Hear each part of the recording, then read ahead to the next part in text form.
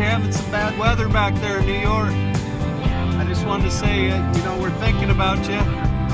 Out here in Washington, it's about 60 degrees, 440 at night. Nice day to have the windows down, just going for a drive. We'll see you, buddy.